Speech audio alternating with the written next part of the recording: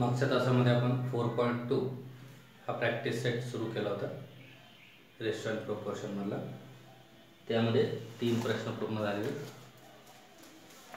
चौथा प्रश्न ॲक्च्युअली चौथ्या प्रश्नातले. तिसरा चौथा पाचवा हे तीन उदाहरणं वगळलेले. पण ती महत्त्वाची ती घेणार आहे. आणि त्यानंतर पाचवा सहावा सातवा प्रश्न ही सुद्धा वगळलेली. ती मात्र आपण इथे घेणार नाही. तर चौथ्या प्रश्नामधले सर्व उदाहरण आपण या ठिकाणी सोडवूया कारण शाब्दिक उदाहरण आहे. Quadrilateral ABCD is a parallelogram and the ratio of angle A and angle B. या अँगलच्या मापाचा रेशो दिलेला आहे five two four then find the measure of angle B तर अँगल बीचं माप काढा.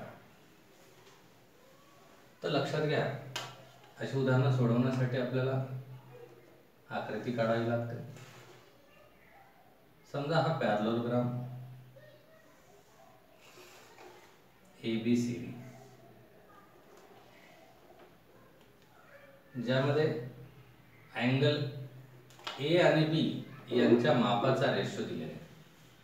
हा ए फाईव्ह टाइम्स आहे मोठा आहे. हा मोठे आपण हा अँगल ए घेऊ.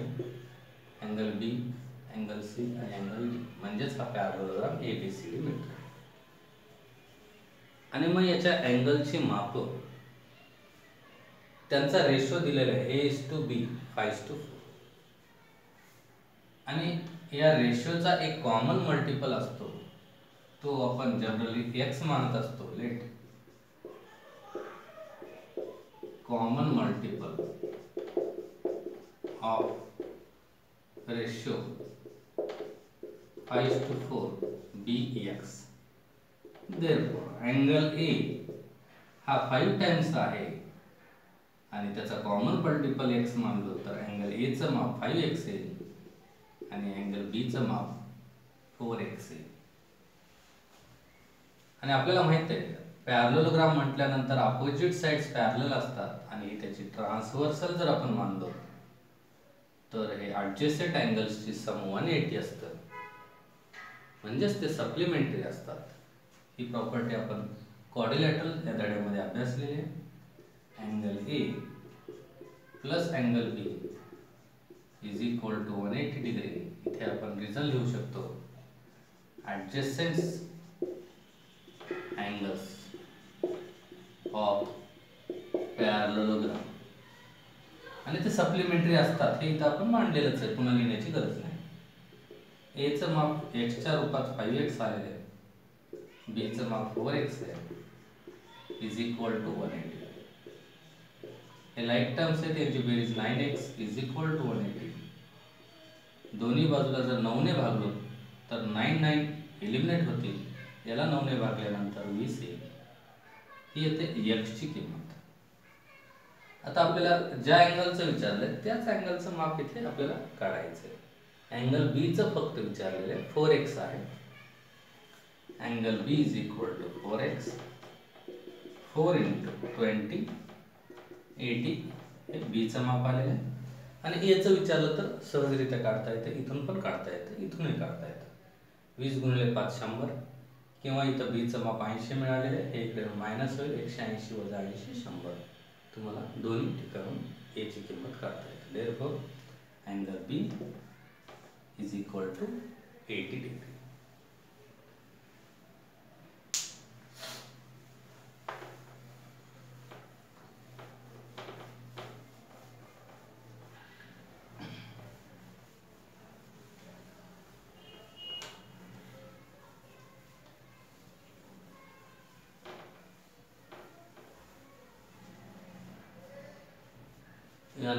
यानंतर एक वयाचं उदाहरण आहे. सेम कालच्या तासात आपण हे असं उदाहरण अभ्यासलेलं आहे. The ratio of present ages of Albert and Salim is five is to nine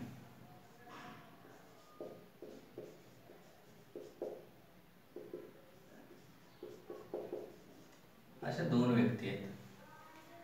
आणि त्यांच्या आजच्या वयाचा ratio five is to nine आहे.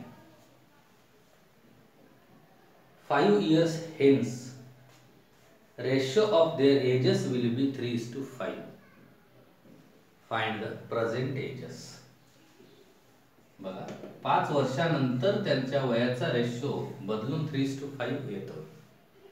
तर त्यांचे आजचे वय काढा. प्रेझेंट एजेस फाईंड करायचे. मग हा रेशो दिलेला आहे. आपण याचा कॉमन मल्टिपल जर एक्स मानलं इथं लिहायचं let common multiple of ratio five to nine be x therefore आल्बर्टचं वय मिळेल आपल्याला. Albert is equal to five x and Salim is equal to nine x जर याचा कॉमन मल्टिपल आपण एक्स मानलो तर आल्बर्टचं आजचं वय पाच एक्स आणि सलीमचं आजचं वय नऊ एक्स आजचे वय येते आता फाईव्ह इयर्स हेन्स म्हणजे नंतर पाच वर्षानंतर.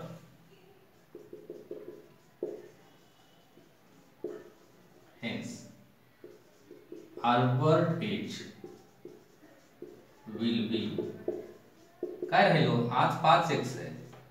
पाच वर्षानंतर पाच त्याच्यामध्ये वाढतील. म्हणून पाच प्लस केलंय.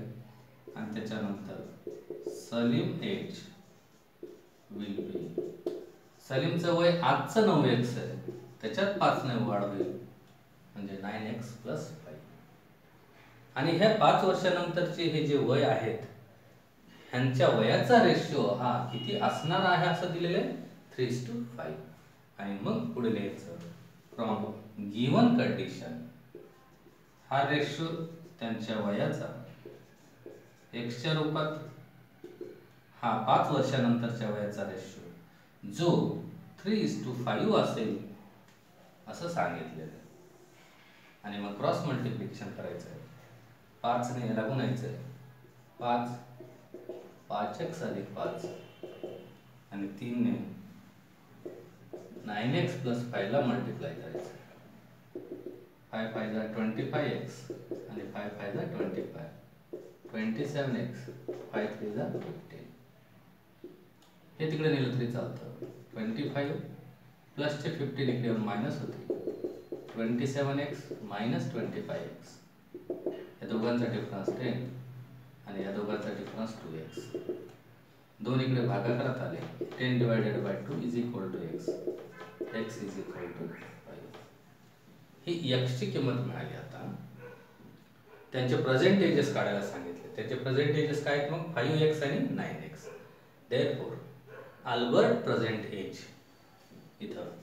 आल्बर्टचं प्रेझेंट एज जो फाईव्ह एक्स आहे एक्सची किंमत पाच मिळाली आपल्याला. पाच गुणिले एक्स म्हणजे पाच गुणिले पाच.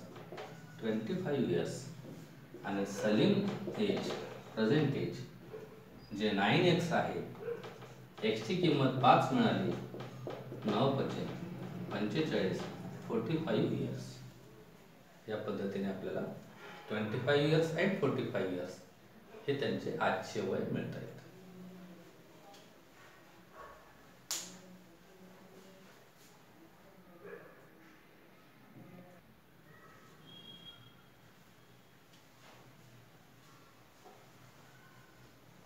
नेक्स्ट क्वेश्चन फोर मधला तिसरा example the ratio of length and breadth of rectangle is three is to one पहा एका रेक्टँगलच्या लेंथ आणि ब्रिथचा ratio three is to one आहे. आणि त्या रेक्टँगलचा पेरिमीटर दिलेला आपल्याला thirty six and its perimeter is 36 centimeter. Find the length and breadth of rectangle. Same same उदाहरण आहेत पहा let common multiple of ratio three is two one be X therefore length of rectangle. तो three times आहे. Three x मिळेल. आणि breadth of rectangle one x म्हणजेच x मिळेल. बघा या टर्मचा कॉमन मल्टिपल एक्स मल्टिपल म्हटल्यानंतर गुणाकार थ्री इंटू एक्स याचा multiple x one into x म्हणजेच एक्स आता फ्रॉम गिवन कंडिशन काय दिलेलं आपल्याला? पेरिमीटर दिलेलं पेरिमीटर ऑफ रेक्टँगल चा फॉर्म्युला आहे two in bracket length plus breadth लांबी आणि रुंदीची बेरीज करून त्याच्या दुप्पट करायचं कारण लांबी दोन वेळा असतं आणि रुंदी दोन वेळा असतात म्हणून एकूण चार वेळा बेरीज करण्यापेक्षा लांबी आणि रुंदीची बेरीज करायची त्याच्या दुप्पट करायचं. त्यावरून हा फॉर्म्युला आपल्याला लक्षात येतो. पेरिमीटर ऑफ रेक्टँगलचा आणि मग पेरिमीटर ऑफ रेक्टँगल आपल्याला फाइंड करायचं नसून ते ऑलरेडी दिलेलं आहे thirty six centimetre twice length हा एक्सच्या रूपात थ्री एक्स झालेला आहे. आणि ब्रिथ वन एक्स म्हणजेच एक्स हे दोन्हीकडे भागाकारात येते लक्षात घ्या. छत्तीस भागले दोन. आणि हे ब्रॅकेट राहील याच्यामध्ये लाईफ टर्म्स आहे त्यांची बेरीज येईल फोर एक्स छत्तीस भागिले दोन अठरा. बरोबर चार एक्स मग इथे चार एक्स बरोबर अठरा. एक्स बरोबर अठरा भागिले चार. एक्स बरोबर चारी चौक सोळा. दोन उरले भाग जात नाही दशांश दिला वीस झाले. चारा पंचे वीस. ही झाली एक्सची किंमत. आता मग लेंथ किती आहे? थ्री एक्स आहे. म्हणून length is equal to three into four point five आणि breadth is equal to one into four point five या दोघांचा गुणाकार येतं. तेरा पॉईंट पाच तेव्हा तीन पाचच्या पंधराला पाच हातचा येईल तीन चौक बारा आणि तेरा एक स्थळ दशमांश आणि या दोघांचा गुणाकार येतो. चार पॉईंट पाच. हे झाले लांबी आणि रुंदी. आपण पडताळ पण घेऊ शकतो बघा. या दोघांची बेरीज येतं अठरा. इथे जर किंमत ठेवलो आपण या दोघांची बेरीज अठरा आणि अठराच्या दुप्पट छत्तीस. हा पेरीमीटर छत्तीस दिलेला आहे. म्हणून आपण ज्या लांबी आणि रुंदीच्या किमती काढू त्या अगदी बरोबर आहे.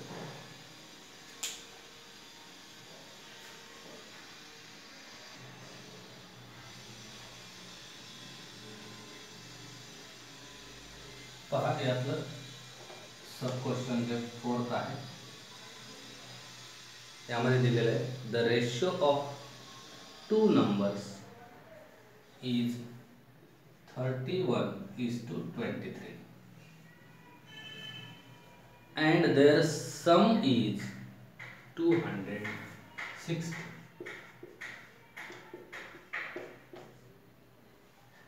find those numbers.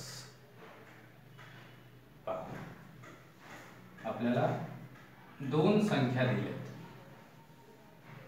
त्या संख्या माहीत नाहीत. पण त्या कोणत्या पटीत आहेत ते दिलेले आहे त्यांचा रेशो दिलेला आहे. हे रेड्यूस फॉर्म असतं. आणि मग याचा एक कॉमन मल्टिपल आपण जो एक्स मानलेला असतं. आणि मग तो एक्स मानल्यामुळे आपल्याला ॲक्च्युअल ते नंबर्स एक्सच्या रूपात माहीत होतात. म्हणून आपण काय करतो? Let common multiple of ratio thirty one is to 23 bx. Therefore, those numbers will be 31x and 23x. जर आपण कॉमन मल्टिपल एक्स मानलो तर त्या संख्या आपल्याला अशा भेटतील आणि मग कंडिशन दिलेली आहे. फ्रॉम गिवन कंडिशन काय कंडिशन दिलेली आहे? उदाहरण वाचा. Sum of those numbers is two hundred sixty ते नंबर्स मिळाले थर्टी वन एक्स आणि ट्वेंटी थ्री एक्स ज्यांची बेरीज आपल्याला दिलेली आहे दोनशे सोळा. म्हणून दिलेल्या कंडिशनवरून आपण इक्वेशन होतो आता या लाईक टर्म्सची बेरीज करायची आहे. Three plus one four two plus three five x is equal to two hundred sixty. X is equal to two hundred sixteen divided by fifty four. पहा डायरेक्ट चौपन्ने जर भाग देता येत नसेल तर तुम्ही लहानात लहान ज्या संख्येने तुम्हाला भागता येता येतं त्या भाग संख्येने भाग देऊ शकता. नऊने भाग देता नऊ सके चौपन्न. याला पण नऊने भाग जाता. नऊ सखी चौपन्न. नऊ दोन्ही अठरा. तीन उरले छत्तीस झाले. नऊ चौक छत्तीस. बघा इथे एकवीसमधून अठराचा भाग दिलो. नऊ दोन्ही अठरा. तीन उरले छत्तीस झाले. नऊ चौक छत्तीस. पुन्हा याला रेड्यूस करून सहा चौक चोवीस. म्हणून एक्सची किंमत फोर आणि मग आता यावरून आपल्याला त्या संख्या काढता येतील. Therefore first number second number असं म्हटलं तरी चालतं. First number thirty one x thirty one into four चार एक चार. चार ते कम बारा. And second number twenty three x twenty three into four तेवीस चो ब्याण्णव. अशा प्रकारे त्या दोन संख्या आपल्याला मिळत आहेत. One hundred twenty four and ninety two शेवटी उत्तर लिहायचं. Therefore those numbers are one hundred twenty four and ninety तर यानंतर आपण या प्रश्नातलं अजून एक उदाहरण आहे ते घेऊया. आणि त्यानंतर या प्रॅक्टिस सेटमध्ये जे स्टार केलेली उदाहरणं आहेत पाचवा सहावा सातवा. ॲक्च्युली ही पण उदाहरणं या वर्षासाठी वगळलेली आहेत. सराव म्हणून घेतलेले पुढे पाचवा सहावा सातवा पण वगळलेले आहेत.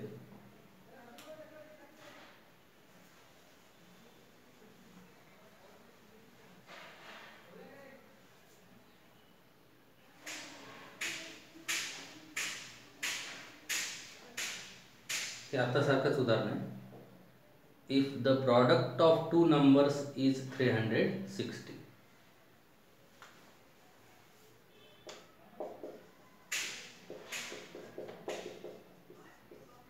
त्या दोन संख्याचा गुणाकार तीनशे साठ दिलेला आहे. आणि त्यांचा रेशो जो आहे टेन इज टू नाईन दिलेला आहे आत्ताच्या गणिताप्रमाणेच आहे. याच्या अगोदरच्या गणितात रेशो देऊन त्या दोघांची बेरीज दिली होती. इथे थोडासाच बदल केलेला आहे. रेशो दिलेला आहे. त्या दोघांची बेरीज इच्छाऐवजी ऐवजी गुणाकार दिलेला आहे. पण सेम तीच let common multiple of ratio ten is to nine be x there first number असंही आपण लिहू शकतो. इज इक्वल टू टेन त्याचा multiple x and second number is equal to nine x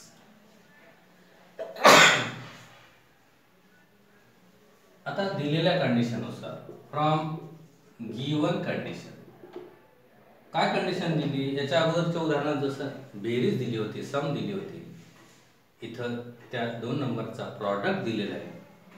त्या दोन संख्या ten x into nine x product दिलेला आहे is equal to three sixty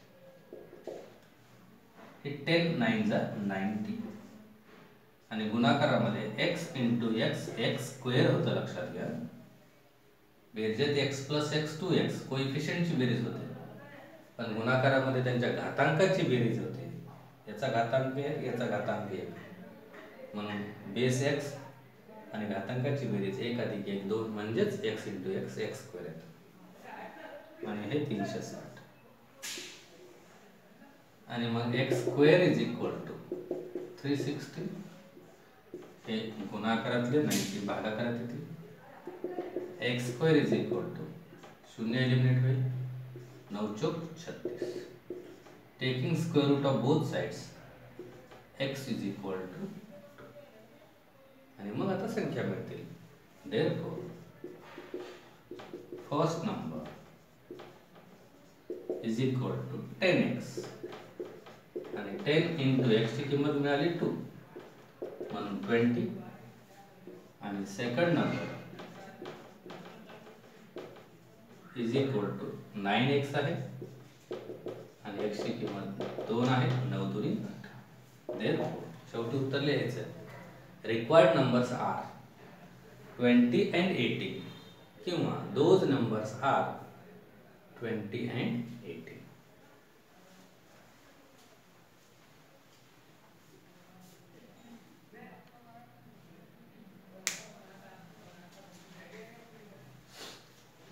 पाहता मी सांगितल्याप्रमाणे इथे हा चौथा प्रश्न पूर्ण झालेला आहे. प्रॅक्टिस सेटमधला आणि याच्या पुढचे पूर्ण प्रश्न त्या ठिकाणी वगळलेले आहेत.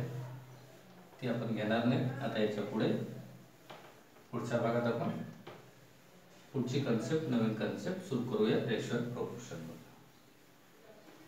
ॲक्च्युली आतापर्यंत मी जे घेतलेले आहेत फोर पॉईंट वनमध्ये सुद्धा काही उदाहरणं वगळलेली आहेत ती सुद्धा मी घेतलेली आहेत. जी मला महत्त्वाची वाटते पुढे भविष्याच्या दृष्टीने जरी ती वगळलेली असतील तरी ती उदाहरणं कारण तिथं वेळ लागणार नाही. आता जे शेवटचे दोन गणिते घेतलं आपण त्याला काही जास्त वेळ लागला नाही.